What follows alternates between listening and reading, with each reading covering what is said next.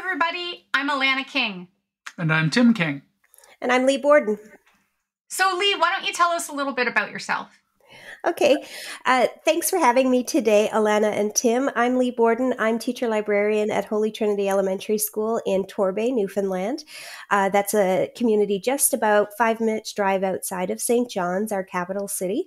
I work in a kindergarten to grade four school, and I've been there for almost 16 years now. I'm also president of Teacher Librarians of Newfoundland and Labrador, our provincial uh, council.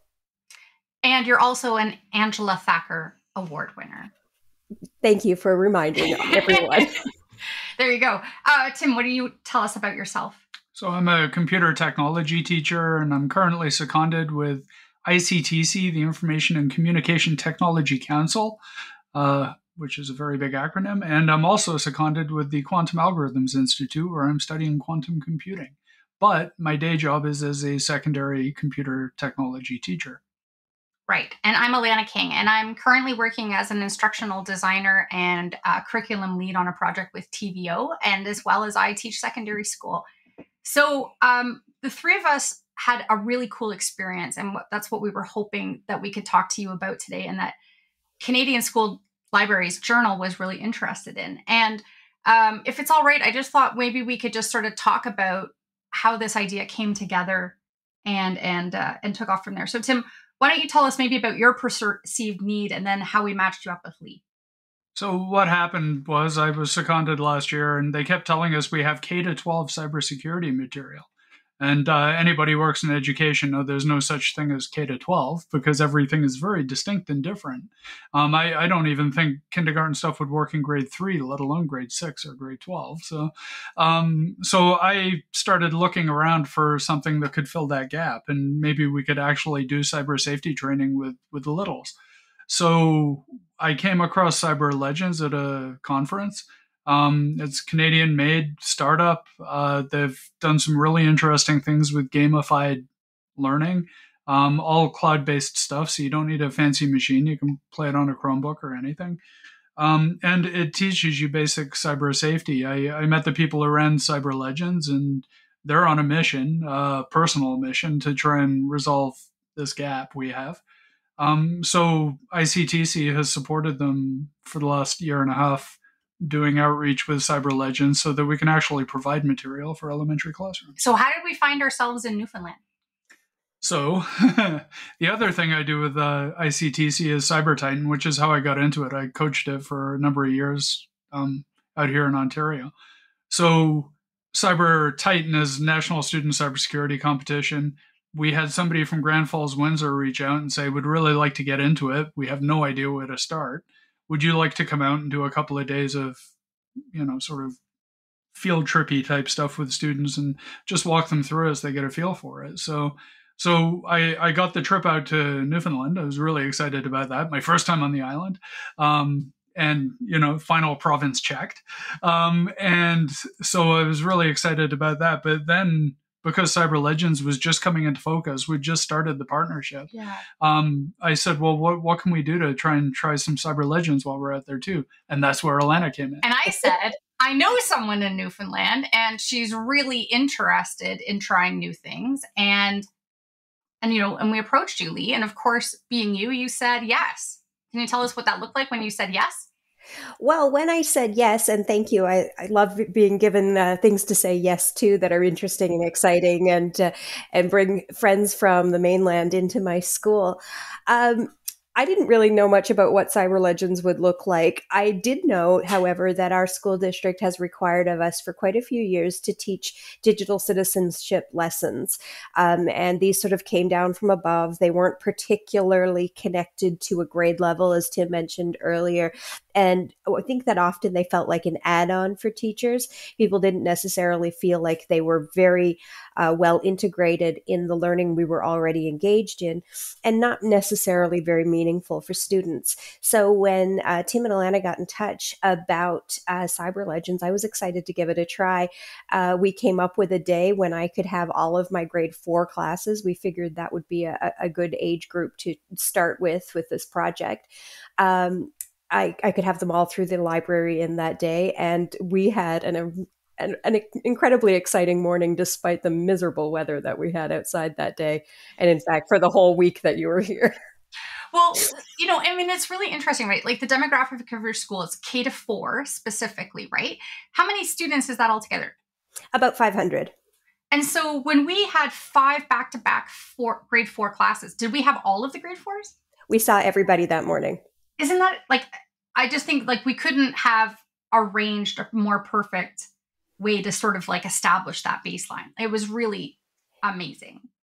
I thought it, was, it, worked out really well uh, in that we got a chance to see not only how the different groups of children, um, mm-hmm. the English classes and the French immersion classes, uh, interacted, but also how our technology held up to the program as the morning went on. In my school, typically, um, we find that the Wi Fi works considerably better before recess than it does sort of after lunch. Right. And, uh, and that was something we took note of uh, in the program that day. Yeah, it was really interesting. Was there anything that you had to do in terms of the teachers or the students or the admin to prepare them for the arrival of that day? Not really. I did uh, visit all of the classes ahead of time and set up their class profiles, their individual accounts in Cyber Legends. Um, and I had introduced them in a very, very brief way to what they would encounter in the program. Um, mostly, I wanted to cut down on any delay in the signing in process because mm-hmm. sometimes mm-hmm. we, when kids are signing into a new program, it can take them a lot of time if they've got a new username or password to deal with. So I wanted to make sure that I had front front loaded that a little bit because we only had a half hour with each group. Um, and if we had if we had had more time an, an hour would have been perfect i think. Uh, beyond that it was not heavy lifting for me in terms of preparing the students for it.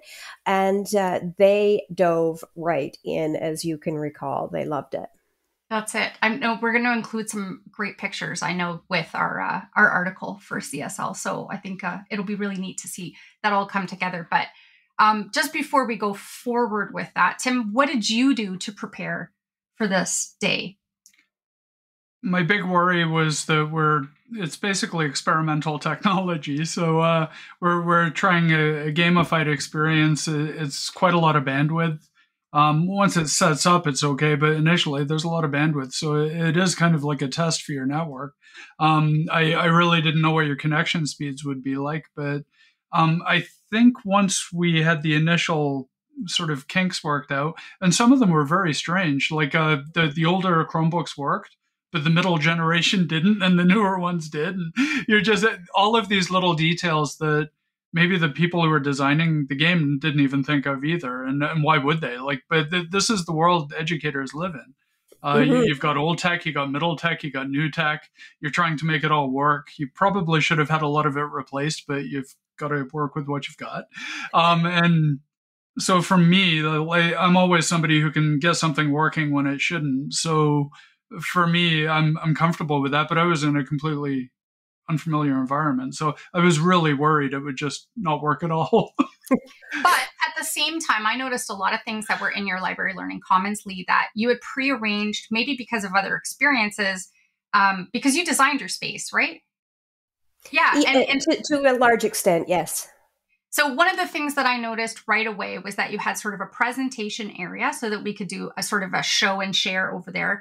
And then you had a move away space where kids could actually get their own device and find their own space to sit down. And there were, um, the other thing I noticed is that there were hot spots in the room where the Wi Fi was working better than others. Interesting, right? But how did you facilitate, or how do you facilitate from the beginning of the year? This is going to be our structure. When we need a Chromebook, we're going to do this. Like, how do you set that all up with the students? Well, we start very young with our students. We start with them in at least grade one and sometimes in kindergarten. Um, oh, we've got a little visitor here, my puppy Cleo. She's here to say hi. Um, we start with uh, definitely with grade one, sometimes with kindergartners, getting them accustomed to using their Chromebooks. And if you've done any Chromebook work with littles, you know that it's a lot of work to establish. But we were early adopters at our school. We've had Chromebooks in the building since I believe 2016. And uh, over time, we've established a, a, routine of working with old keyboards that we have the uh, um, the chords cut off, for example, singing the alphabet song, typing out the alphabet on the old keyboards, noticing that they're not in alphabetical order, finding the letters of our name on the keyboards, and so on, before we ever go near the Chromebooks. But as you might remember, I had a giant Chromebook keyboard in the library as well, which we use with a pointer for pointing out all those tricky bits, like the underscore in every one of our students' uh, email accounts. They have an underscore, which is a very strange object that nobody understands. We also um, did a, a, sort of contrived a system of color coding on our Chromebooks, and we used the Cricut machine in our library um, and made color coded dots out of permanent vinyl, which we've stuck on all of the um, 50 or so Chromebooks that are in our school uh, so that children know that if you need to make uh, an underscore, you press on the big yellow dot on the shift key and then touch one time on the little yellow dot on the underscore key. And this color coding system has really helped us. So by the time you get to grade four, there really aren't that many children who need assistance, for example, in signing into their Chromebooks. They've got that pretty down pat. Um, mostly what they need reminders about is how to use the technology uh, safely and appropriately and um, the right places and times for that. It, it was incredible. And I remember, Tim, you had a really strong reaction to Lee's innovative keyboard modifications that she'd made. Do you remember what you said at that time? It just drives me crazy that you see all these big multinationals saying Chromebooks for education. And then you look at the Chromebook and it looks exactly the same as the Chromebook in Best Buy. And uh, how is this for education? And you look at what Lee did, which was some, you know, crafty vinyl stickers. Uh, why aren't all of our Chromebooks for education color coded keyboards? Why, why isn't that just a natural thing? Like, it was hugely logical for us, and I have to say that my colleague Kim Keating and I uh, came up with this plan together. We decided to try it with the Cricut vinyl after a few uh, other discussions about other stickers that we might use, but the Cricut vinyl has proved quite invincible. We have hardly had to replace a single color coded dot. Um, and it has been worth it for us. So, as a matter of fact, through a number of different presentations that um, my colleague Kim and I have done uh, here in Newfoundland. We have other schools in our school district who are adopting uh, the same kind of process with their Chromebooks in their schools in order to make it easier for their little ones to um, get engaged with uh, Google Apps earlier on. It's really interesting. And so here's the other thing that I did. Now, I'm a secondary literacy English specialist. And so the first thing I noticed, you know, and this is the secondary point of view, was how much those students in grade four were relying on the audio version of what was being told because it was so text based. And I hadn't even considered it. But another thing that you had ready in your learning commons was a pair of headphones for every kid who would need them. Amazing. We encourage all the students to come to school um, with headphones from the beginning of the school year. Uh, I have a set of about 40 in the library uh, for anyone who needs them. And I did buy them with microphones uh, oh, nice. because I wanted to make sure that we could maximize voice to text opportunities for students. Um, but I also have uh, little giveaway earbuds. If I'm on an airplane, I take all the ones that nobody else takes and I put them in my pockets. And when a kid shows up at the library, library without their own earbuds. I give them a set and I write their name on them, and these are yours, don't lose them. Um, it's really handy to have that because you're right. They do rely more than perhaps they would have before the pandemic on uh, audio um, because I think that sometimes reading skills are difficult. Um, reading skills that are when the text is unusual or unfamiliar, it's certainly more difficult for them uh, to read it than to listen to it. And so I like that uh, Cyber Legends both had the audio and the uh, the text version available. I like the fact that if everybody grabs headphones, whether they do or not, it normalizes it. And there wasn't anyone who felt like my reading ability is going to be preventing me from playing this game. And I think that like that equity piece is really important. I was really impressed by that. Well, thank All the you. bits and pieces I, I, you've got to put together, though, like that, it's incredible. It worked as well as it did because you had a well-running machine there. Like the the kids had been had been trained on what they needed to do. The expectations were clear. You'd done all sorts of additional adaptation to your technology. It was a real joy to see. Uh, thank you so much. It was certainly a pleasure. It was a, it was a busy morning, and I was probably a bit tired by the end of it, but I felt really good about it. And I think that the feedback we got from the children was really interesting too, um, and the fact that we were able to, uh, with one class in particular, follow up several times uh, with the creators was really really neat for them. They felt like they were extremely important uh, beta testers for this for this game. Well, and they were. Tim, did you get any feedback? Yeah, the team of Cyber Legends were just overjoyed. The the chief software engineer on the program was just thrilled to be talking to the kids. He could not get back to it soon enough, and that happened multiple times, right? Yeah, I think so. Yeah. So uh, yeah, really positive. It's a it's a really really really interesting idea. And you know, since that experience, when I'm watching parents and children out in public and you know whether we're in trains or in waiting rooms or whatever and they're using their device. And i see that moment when they need to they want to hear the sound. But that barrier without headphones it it, it creates extra noise for everybody else you know which can be annoying and also maybe unmanageable in terms of like trying to keep a space appropriate for multiple types of learning in one place. But also you know it's a disadvantage because they're suddenly they're they're hampered. They can't go ahead with the activity that they were planning. Um, the other piece that i was thinking about was the feedback from maybe the teachers. Did you get any feedback about anything that had changed or any ripples that had come out of that experience Yes, we had several. I mean, the teachers were all really excited to have had the opportunity to come and do something as interesting and unusual as this. You know, it's not the kind of thing that happens every day in our schools in St. John's, you know. Um, so, first of all, they were really excited just to have had the opportunity to have had two teachers from Ontario visiting our school and teaching with them was a real pleasure for them. Uh, one teacher in particular was quite, uh, quite a, a techie teacher. She was um, very young, one of our French immersion teachers at the time.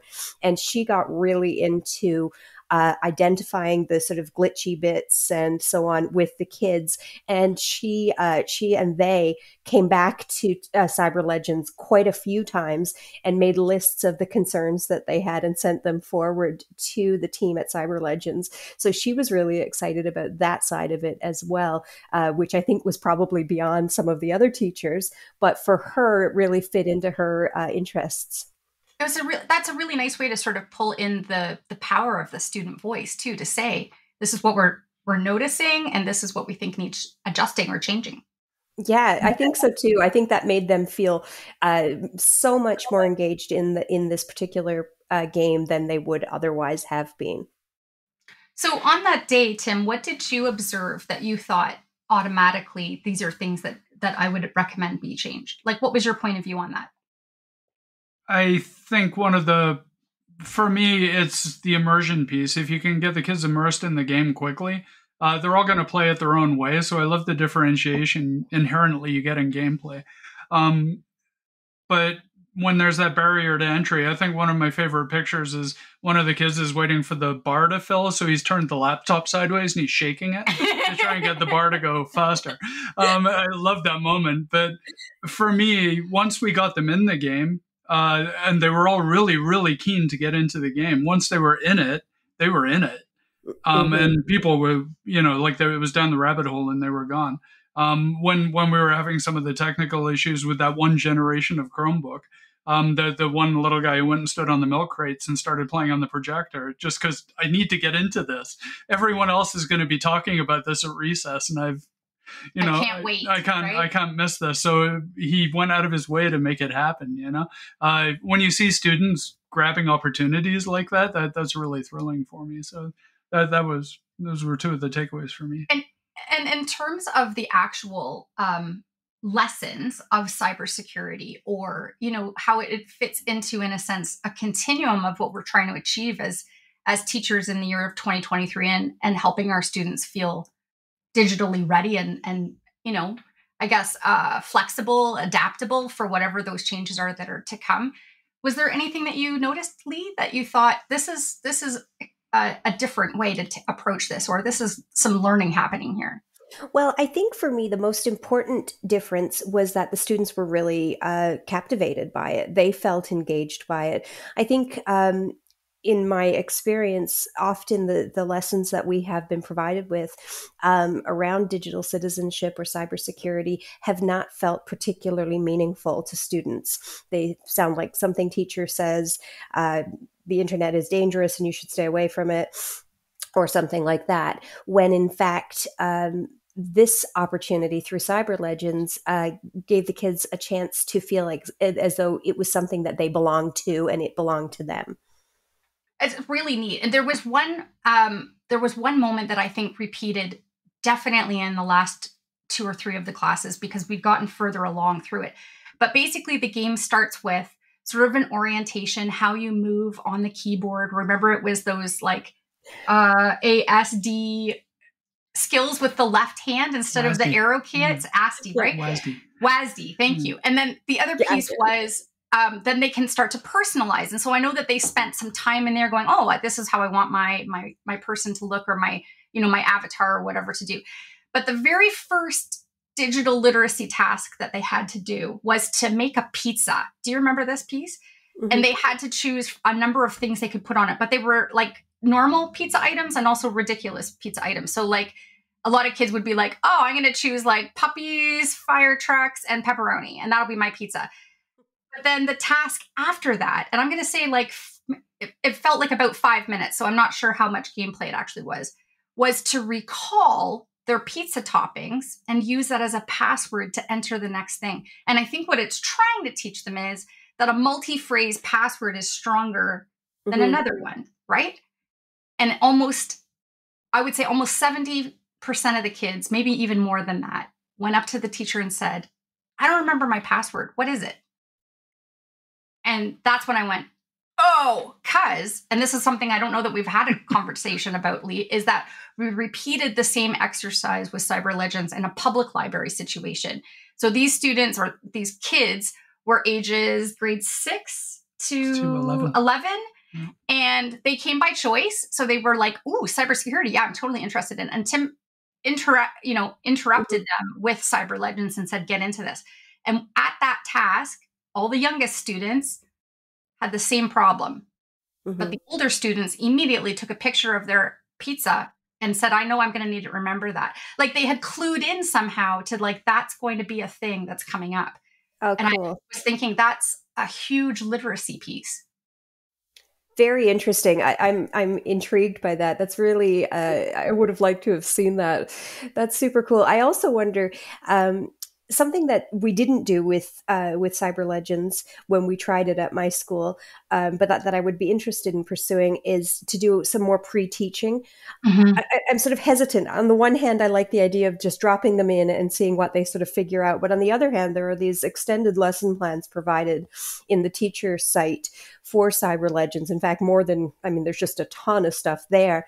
It would be interesting to uh, to try it both ways and see what the kids prefer and what they get out of it in both cases. The right. good news is that the based on your feedback, I think primarily from your school, they've done exactly that. So starting in the new year, they're going to have game clips you can play. So okay. when you're doing the password lesson, you could just play the password section of the game, like Perfect. an in and out kind of thing. So, um, like a targeted kind of, you know, this is going to be about passwords. This is going to be about online privacy. This is going to be, and so you can, the gameplay, instead of it being this giant thing that you can get lost in, which is cool for other reasons, um, is it could be something very lesson specific. It would be neat if we could do some sort of like pre diagnostic to see what do you know play the game or play it through a certain number of modules and then say has that improved or has that changed at all? I'm wondering what really kind of observational data we can get, right? Would you use that, do you think, Lee? Well, I think you'd use it to target your lesson planning at, at, the very least. If you had, if you had some information, oh, the kids know a lot about making passwords, but they make really poor choices about who to talk to online, for example, uh, then you could at least uh, strategically select the lessons and game clips, like Tim's saying, that you were going to focus on. So, Tim, your ICTC has uh, sort of a, a, digital fluency, digital literacy continuum called FIT, right? Is it something that you can see Cyber Legends fitting into? Yeah, like I said, initially the idea was to try and create a, a full curriculum like a K to 12 curriculum, and Cyber Legends was the piece there. How, how they all fit together, I'm, we're still working out. But I think if we were smart about all of these, and there are a lot of programs in Canada that are trying to address cyber safety, but if we just got everybody together and actually developed an interlocking curriculum of tools that everyone knew was safe and Canadian made and Canadian data storage and everything else. So it, met everyone's criteria, everybody could just dive into that pool of resources knowing that it's credible good stuff from you know mm-hmm. partners who want to help and then and then work their way forward so but one of the other things that we've found this year is that provincially everybody has their own set of standards does newfoundland have its own set of standards for digital citizenship or fluency or something like that no, we don't. Um, there is no, there are no curriculum outcomes for uh, techno- even technology education for K to six. It starts to pick up in seven, um, but it's a very small percentage of our program of studies overall. And there is not, uh, as I said, like a continuum or skills set that we're meant to be teaching. The uh, the approach that's been taken in the past has been kind of piecemeal, um, and to be perfectly honest, we haven't seen much come forward in the last year or two on it anyway. So I guess my, my hard question for you then, Lee, is like, how do you take your direction with knowing like what should they know? That's a really tricky question. And I would say it applies not only to what they should know having to do with digital uh, citizenship, but what they should know in the digital realm altogether. What skills should they have in Google Slides when they're in grade two, for example? I have an idea in my head and sort of a list of things that I try to uh, teach to my children in my school. But something that's come to me and quite heavily in the last couple of weeks is that not every school in my school district has the same access to the same sorts of technology, to the same bandwidth uh, that I have. And mm-hmm. so what I'm doing with grade ones in my school is not even remotely possible for grade ones in some rural and remote schools where um, the Wi Fi may be terrible and the devices limited, if any so I'm, I'm, I'm feeling a lot of sort of pressure around the equity side of things right now, mm-hmm. um, and so not only am I concerned about students' access to uh, quality cybersecurity education, quality digital liter- uh, digital literacy, I'm concerned about their access. Period to digital technology. Um, a couple of years ago, uh, I guess during the sort of latter phases of the pandemic, um, I was very interested in um, a resolution that was passed at the United Nations about access to digital materials and spent some time writing a letter uh, on behalf of our provincial teacher librarians organization pointing out that this is something that the United Nations says that all of our children um, in school throughout the, the the world ought to have access to, and uh, we're not doing a great job of it in Canada, unfortunately. And um, even within our city here, I can see that there are vast inequities from one uh, community to another, from one school to another. Yeah, that's really true. I, I always assumed the the policy and the curriculum design was slow just because people were, I don't want to say lazy, but just they did just didn't care. They, they were like, well, it really doesn't matter, you know, and put it aside. Now I'm starting to wonder if there's a lack of curriculum because it would force people to look at that digital divide and say, how can we teach this at one school when the school 20 miles up the road doesn't have reliable internet access? Mm-hmm. You would need to fix that first. Well, mm-hmm. we can't fix that. We, we don't have anything. A, I don't think that's a Newfoundland and Labrador problem. I'm sure that's a problem no, in many, problem many here. parts of Canada um, and many parts of even in big cities. I know I, I, used to teach in Toronto, and I know that my school, which was an inner city school, definitely had less access to resources than one in Leaside did. Um, but it's it's a difficult question because it's one that people don't very much want to address, and uh, it's a it's a concern that we have here. We're in. Um, 2021, our grade 7 to 12 students were all given one to one Chromebooks. Mm terrific, except there doesn't appear to be a plan in place for the uh, systematic replacement of those devices. And we're concerned that in 2027, there's going to be what we're referring to as a tech apocalypse, um, when there are uh, 60,000, 50,000 Chromebooks out there, and not a one that works and none to replace them. Yeah, I mean, and that doesn't include even the quantum computing stuff that's coming down the pipe. So, I in my high school, one of the things we do is we do the IT support locally, like because I'm teaching IT. So, uh, so the students kind of run our own help desk. So, what happened a few years ago, just as we were getting into Chromebooks, probably about the same time you were, um, you know, a few years in, there's piles of dead Chromebooks everywhere. Students have intentionally broken them or whatever. And screens were a real problem on the early ones we had. They were really bendy, so oh, yeah. that they would snap really easily. Um, so I looked up a replacement and said, Can I replace this? And our school board IT department said, No, no, no, that's our job. You have to give it to us. So we, we sent it down to them and they charged $250 to repair a three year old, what was a $299 Chromebook, um, which made no sense at all. So they said, well, we're not going to do that anymore. Mm-hmm. Meanwhile, I go looking up and I, I find an aftermarket screen replacement for $30. So my students, because we don't charge anything for the work, could repair the Chromebooks for 30 bucks each. So for a long time, my school was the only one with excess Chromebooks because we kept the old ones going. And we, we started Frankensteining them too. We would bring in like partially broken ones, dismantle them, and use the spare parts to make other ones work. But it was great experience for the students. So there are solutions to this, but no one's that flexible. And when you're dealing with, you know, adults with a contract who want to charge what they want to charge for the work, then again, it backs us into a corner one of the interesting takeaways I had from that day is I think that um, one of your IT technicians came on site or came into the library learning commons mm. and her comments were about how much they were beta testing the network and how there were all sorts of things that were happening that day that were informative for her.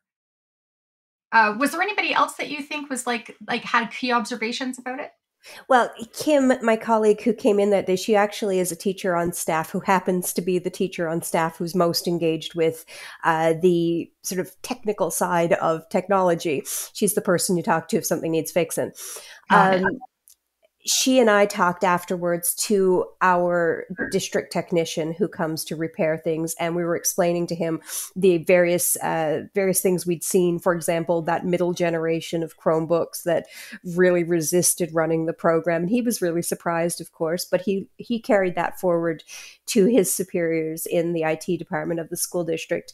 Um, just as a point of interest. We did afterwards add another uh, Wi Fi router in the library, and that seems to have helped a little bit with some of our afternoon problems.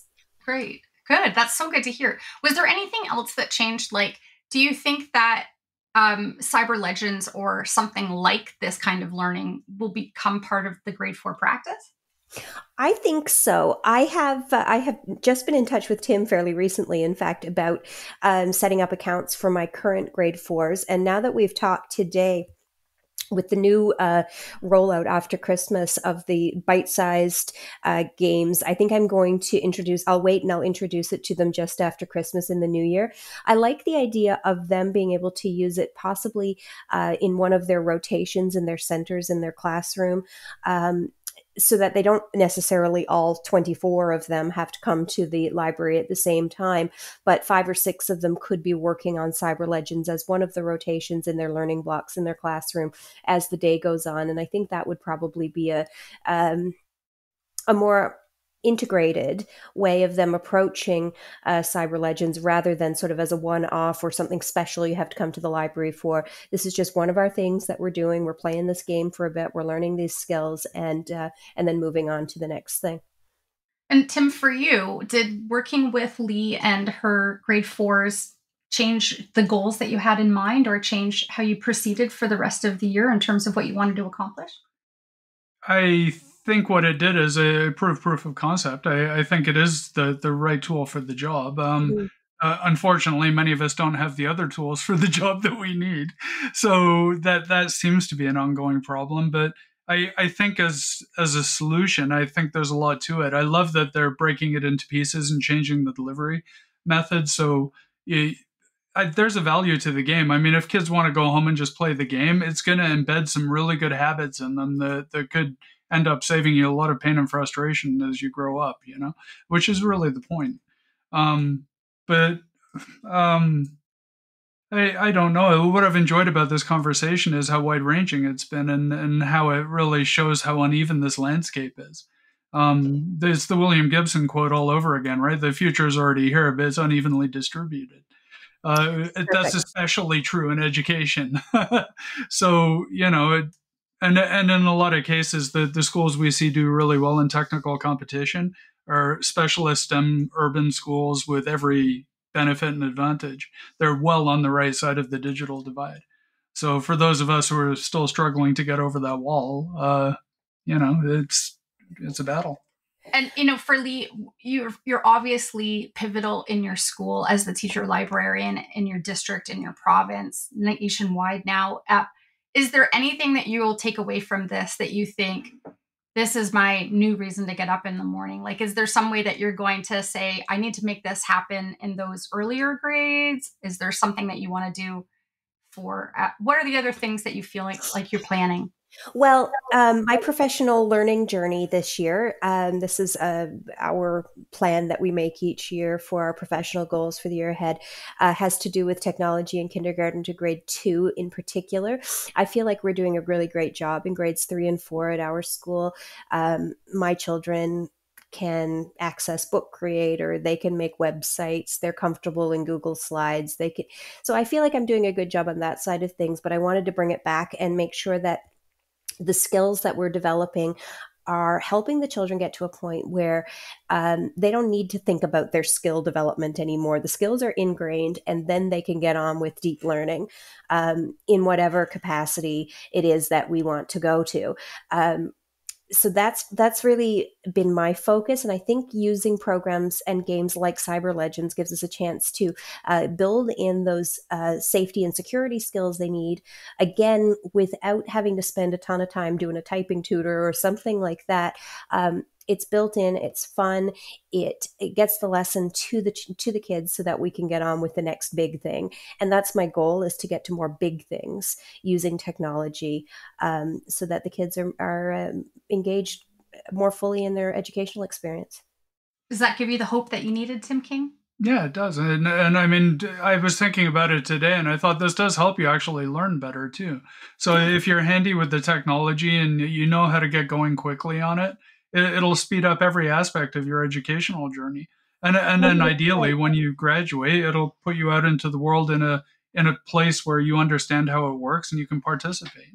Uh, the last thing we want to do is graduate anyone with such poor digital skills that they're unemployable. Like that's not that's my hope. If I can teach my grade ones to sign into their Chromebooks efficiently, uh, then when they're in grade seven, they don't need to worry about that. Then they can dive right into uh, a coding project or writing a book online or any number of other incredible projects that if they have to learn the basic skills of where letters are on the keyboard, um, they're going to be far, far behind with. And and I think that this is a serious part of the digital divide. It's it's an equity piece that we're seeing here in our school system. Um, but I suppose what I need to do uh, in my position is continue to uh, do what I can with the kids that I have, and also advocate for the rest of the children in our province. And please let us know how it goes because I would love to hear how the middle schools handle your kids when they come in and they've got the advanced skills that they weren't expecting. Um, it'll be really interesting to see that. Tim, uh, but if people want to get involved in Cyber Legends, are there opportunities still available to them now? Yeah. So with wow, that was a big ding ding. uh, um, we're still operational at ICTC until the end of March. That's when our CAN code funding ends. But um, I would still be more than happy to provide a site license for anybody who wants to try Cyber Legends. Just uh, look up ICTC and eTalent Canada, and you'll be able to find us on there and get in touch. And and would would happily provide you with your first year experience with it. And you can test it and see if it fits the need. And then if it does, hopefully we can keep Cyber Legends going. Uh, that they are a small Canadian startup. That this is not some big corporate monster. That this is like a family making this thing work. So I want to help. I think that's perfect. I mean, I think that's a great place to leave it, unless either of you have any more takeaways or wrap ups. Thank you so much. Thank you. It was a pleasure to have you at my school in April, and it's a pleasure to be back with you right now. I hope we can come back again. Wouldn't that be great? More than welcome. Awesome. Thank you, Lee, for your time. Of course.